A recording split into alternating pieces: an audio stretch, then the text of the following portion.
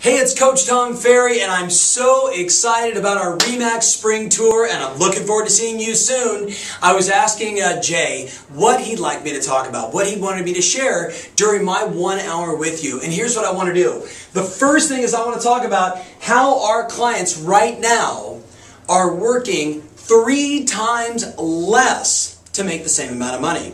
Most people today are complaining about feeling like they're working three times as hard for half the pay. I'm going to show you exactly how our clients are averaging 49.5 new conversations to one sale made. That could be the best number right now in all of real estate. 49 new conversations to one sale made. Not a lead, not a listing, a sale made. Then I'm going to show you a diversification strategy for your lead generation that's going to cause you to win. Look, at the end of the day, we're in the people business, and how many different ways you touch people and get in front of their eyeballs and make the right offers is how we win. And then lastly, I'm going to show you how you jumpstart the second quarter with a simple plan to execute all the things we discussed during our one hour. So if you're even on the fence, you need to be there. I can't wait to see you. It's going to be an extraordinary event. Sign up somewhere around here. There's got to be a click or a button, or you call your manager, or you call somebody and say, I'm in.